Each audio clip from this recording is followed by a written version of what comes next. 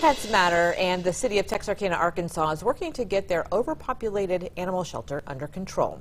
This week, the board of directors passed an ordinance requiring residents to spay and neuter their cats and dogs unless they're licensed breeders. City's animal shelter has been at capacity for the last couple of years. Board believes the new ordinance will help decrease the number of animals being brought into the shelter. We need pets registered inside the city as well too. So trying to um, do a combination of making sure we know how many pets and animals we have in the city as well as trying to control the population. The ordinance will go into effect in 30 days, and people who violate it could face a fine of up to $500.